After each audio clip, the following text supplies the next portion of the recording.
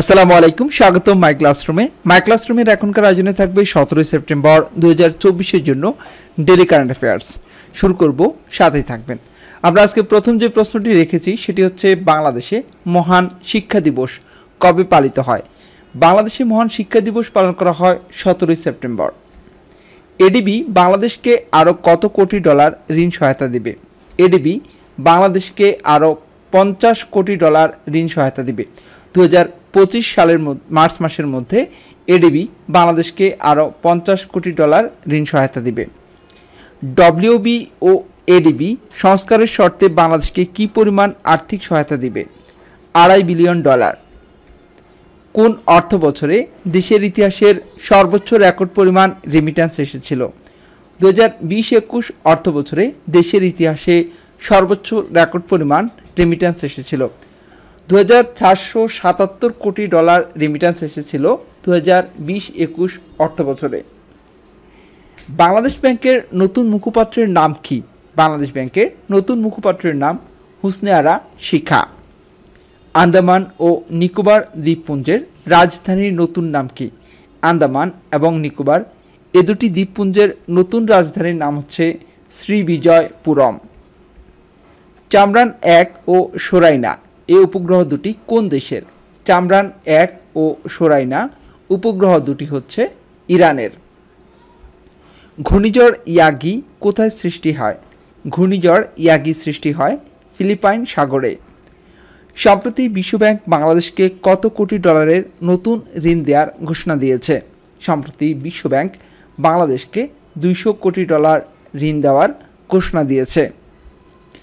বাংলাদেশের অন্তর্বর্তী সরকার জুলাই শহীদ স্মৃতি ফাউন্ডেশনে কত কোটি অনুদান দিয়েছে?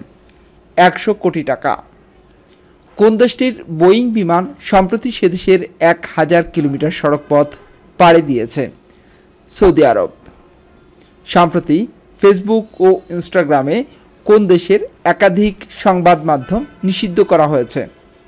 উত্তর হচ্ছে রাশিয়া। যুক্তরাষ্ট্রের দক্ষিণ ও মধ্য এশিয়া বিষয়ক সহকারী পররাষ্ট্রমন্ত্রীর নাম কি? ডোনাল্ড লু। সাম্প্রতিক গ্রেপ্তার হওয়া একাত্তরের ঘাতক দালাল নির্মূল কমিটির উপদেষ্টা মণ্ডলীর সভাপতির নাম কি? তিনি শাহরিয়ার কবির। ভারতের দিল্লির নতুন মুখ্যমন্ত্রী হতে যাওয়া ব্যক্তির নাম কি? অতিশি মার্লেনা সাম্প্রতিক বন্যায় বাংলাদেশের সর্বমোট ক্ষতির পরিমাণ কত?